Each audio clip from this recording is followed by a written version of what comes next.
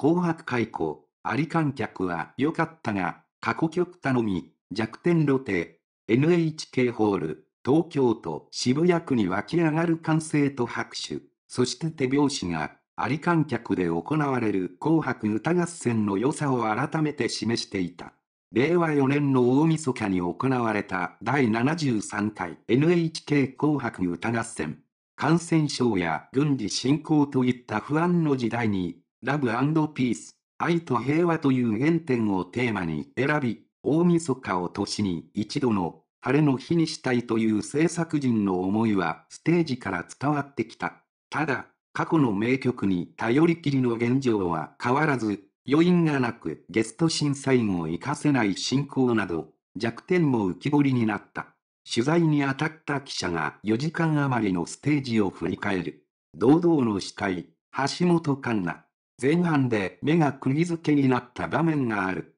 世界の終わりの、ハビットだ。メンバーが舞台裏を歌いながら歩き、NHK ホールに飛び込む。カメラに映し出されたのは、観客が手にした七色に輝くサイリウム。前々回は新型コロナウイルス下で無観客、前回はあり観客だが東京国際フォーラム、千代田区での開催で NHK ホールでの久々の紅白らしい情景に思わずグッときた。見どころが多かったのは後半だ。報道陣に特に好評だったのが、今回限りで歌手活動を休業する氷川きよしさん。不死鳥を連想させる豪華セットの上で前髪をなびかせ、うっとりとした表情を浮かべ歌い切った姿に、記者の一人は、紅白の歴史に残るパフォーマンス、鳥でも良かったと感嘆した。安全地帯、送電義弘さんらベテラン勢も、さすがの一言だった。特筆すべきは、初司会とは思えない橋本環奈さんの安定感だ。台本を頭に入れた進行のスムーズさに加え、時に脱線しがちな大泉洋さんやゲスト、歌手の会話を遮っても番組を進めて違和感のない振る舞いは、記者の間で、司会5年目ぐらいの慣れとの声が漏れたほどだった。ぼやけるターゲット。一方で、改善すべきだと感じた点も多い。その一つが、そもそも出場歌手が全然わからないという基本中の基本だ。SNS、交流サイトなどでは、正直、若い初出場のグループの区別がつかないなどの声が見られ、韓国系の出場組も、違いがわからないの声が、ファン以外からは漏れていた。また、前半に天童よしみさん、坂本冬美さんらベテラン勢を配置したにもかかわらず、ベテラン記者からは、特に前半が高齢の視聴者を切り捨ていたとの指摘もあった。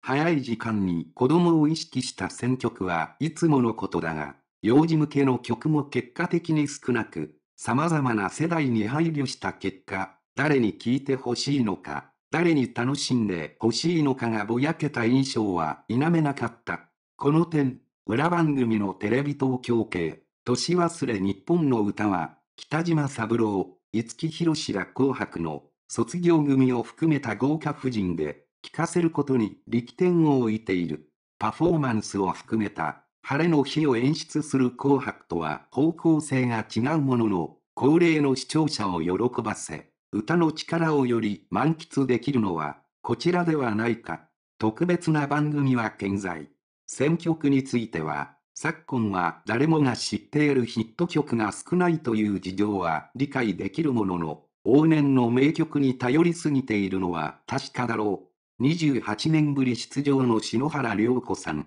24年ぶりの工藤静香さん、37年ぶりの安全地帯。それぞれ歌唱は素晴らしかったが、なぜ今という印象は正直否めない。演出が詰め込みすぎ。行き着く暇もなかった。企画が多すぎて余韻が楽しめなかったという声もあった。プロ野球ヤクルトの村上宗隆選手や女優の鷲田恵奈さん、鎌倉殿の13人に出演した坂東彌十郎さんら幅広いゲスト審査員が出演したのに、目立ったのは長友佑都さんと司会の大泉さんによる、ブラボー、ばかりで、もったいない、というのも実感だ。とはいえ、紅白を最後のステージに選んだ歌手が目立ったように、紅白が今も特別な番組、であることには変わりない。一年後の紅白は、ピースのうちに迎えられるだろうか。それはともかく、今は不安だらけだった令和4年を華やかに締めくくってくれた出演者たちと制作陣の労を託したい。